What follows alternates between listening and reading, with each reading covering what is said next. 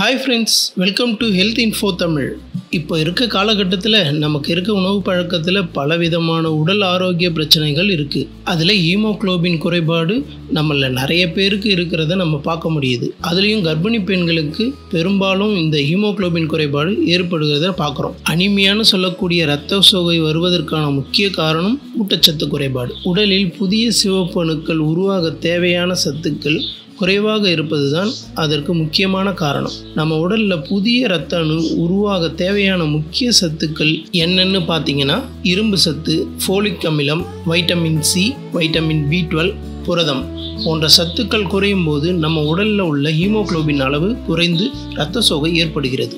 இந்த சத்துக்கள் அதிகம் உள்ள உணவுகளை நாம் அன்றாடு சாப்பிட்டு வருவதால் ஹீமோகுளோபின் அளவை சுலபமாக அதிகரிக்கலாம். ஹீமோகுளோபின் அளவை அதிகரிக்கும் பத்து உணவுகளை இப்போது நாம் பார்க்கலாம். நம்ம சேனலை இப்போ தான் நீங்கள் ஃபஸ்ட் டைம் பார்க்குறீங்கன்னா மறக்காமல் சப்ஸ்கிரைப் பண்ணிக்கோங்க. பெல்லைக்கானை கிளிக் பண்ணி ஆளை செலக்ட் பண்ணிக்கோங்க.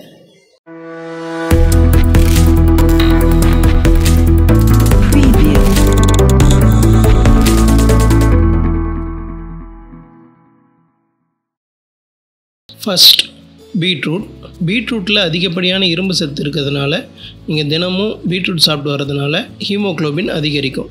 பீட்ரூட்டை நீங்கள் ஜூஸாகவோ இல்லை பொரியலாகவோ சாப்பிட்லாம். கர்ப்பிணி பெண்கள் வாரத்தில் இரண்டு அல்லது மூன்று முறை சாப்பிடுவது நல்லது. செகண்ட் மாதுளைப்பழம். மாதுளையில் அதிகப்படியான இரும்பு சத்து விட்டமின் மற்றும் மினரல்ஸ் அடங்கி இருக்கிறதுனால தினமும் ஜூஸாகவோ இல்லை பழமாகவோ சாப்பிட்டு வரலாம். தேர்ட் பேரிச்சம்பழம். ட்ரை ஃப்ரூட்ஸில் ஹீமோக்ளோபினை அதிகரிக்கக்கூடிய முக்கியமான ஒன்று இந்த பேரிச்சம்பழம். பேரிச்சம்பழத்தில் இரும்பு சத்து மற்றும் பொட்டாசியம் அடங்கி இருக்கிறதுனால ஹீமோக்ளோபின் குறைவாக இருக்கிறவங்க தினமும் மூன்று அல்லது நான்கு பேரிச்சம்பழம் சாப்பிட்டு வர ஹீமோக்ளோபின் குறைபாட்டால் ஏற்படுற உடல் சோர்வும் நீங்கும். ஃபோர்த்து கருப்பு உலர் திராட்சை. ஹீமோக்ளோபின் அதிகரிக்கணும்னு நினைக்கிறவங்க அவசியம் சாப்பிட வேண்டிய ஒன்று இந்த கருப்பு திராட்சை. ஒரு கைப்பிடி அளவு கருப்பு திராட்சையை இரவு தண்ணீரில் ஊற வைத்து காலை அந்த திராட்சையும் தண்ணீரையும் சேர்த்து அரைத்து சாப்பிட்டு வர உடலில் இரும்பு சத்து அதிகரித்து ஹீமோக்ளோபின் அளவு அதிகரிக்கும். ஃபிஃப்த்து கீரை வகைகள். அனைத்து வகையான கீரைகளுமே பல சத்துக்கள் அடங்கி இருக்கிறதுனால தினமும் ஒரு வகை கீரையை கட்டாயம் நம்ம சாப்பிட்ணும். ஹீமோக்ளோபின் அதிகரிக்கணும்னு நினைக்கிறவங்க கட்டாயம் சாப்பிட வேண்டிய ஒரு கீரை முருங்கைக்கீரை. முருங்கைக்கீரை டெய்லியுமே நீங்கள் எடுத்துக்கிறது ரொம்பவே நல்லது. முருங்கைக்கீரை சூப்போ அல்லது பொரியலாகவோ செஞ்சு தினமும் சாப்பிட்டு வர ஹீமோக்ளோபின் அளவு சிறப்பாக அதிகரிக்கும். சிக்ஸ்த்து சிட்ரஸ் பழங்கள். எலும்பிச்சை சாத்துக்குடி கமலா ஆரஞ்சு போன்ற பழங்களில் சிட்ரஸ் அதிகமாக உள்ளது. சிட்ரஸ் பழங்களில் அதிகம் விட்டமின் சி சத்து உள்ளது.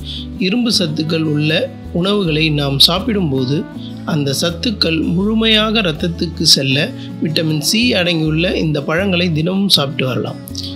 செவன்த்து உலர்ந்த அத்திப்பழம். உலர்ந்த அத்திப்பழத்தை தேனில் ஊற வைத்து அல்லது அப்படியே சாப்பிட்டு வர இரும்பு சத்து அதிகரிக்கும். அது மட்டும் இல்லாமல் உணவில் உள்ள சத்துக்களை உடலுக்கு சீராக கொண்டு செல்ல இந்த அத்திப்பழம் உதவுகிறது. எயித்து வெஜிடபிள் சூப் அனைத்து விதமான காய்கறிகளையும் ஒன்றா சேர்த்து சூப் சாப்பிட்டு வர்றதுனால உடல் எதிர்ப்பு சக்தியை அதிகரித்து ஆரோக்கியமாக வைத்திருக்கும். நைன்த்து ஆட்டு ஈரல். உடலில் ரத்தம் அதிகம் சுரக்க ஆட்டு மண்ணீரல் ஒரு சிறந்த உணவாகும். இரும்பு சத்து விட்டமின் பி டுவெல் மற்றும் புரதம் ஆகிய மூன்று சத்துக்களும் அடங்கிய அற்புதமான உணவு மண்ணீரல். நீங்கள் அசைவம் சாப்பிட்றவங்களா இருந்தால் அவசியம் இந்த மண்ணீரலை நூறு கிராம் அளவு வாரத்தில் மூணு நாள் சாப்பிட்டு வரலாம். டென்த்து நாட்டுக்கோழி முட்டை. நாட்டுக்கோழி முட்டையில் அதிகப்படியான புரதம் மற்றும் சுத்தமான கொழுப்பு அடங்கியிருக்கு. மஞ்சள் கருவில் அதிகமான ஃபோலிக் ஆசிட் அடங்கியிருக்கு. தினமும் ரெண்டு அல்லது மூன்று முட்டை சாப்பிட்டு வர உடலில் ஹீமோக்ளோபின் அளவு அதிகரிக்கும். இந்த வீடியோ உங்களுக்கு யூஸ்ஃபுல்லாக இருக்கும்னு நம்புகிறேன் மறக்காமல் நம்ம சேனலுக்கு சப்ஸ்கிரைப் பண்ணிவிடுங்க இந்த வீடியோவையும் லைக் பண்ணிவிடுங்க தேங்க்யூ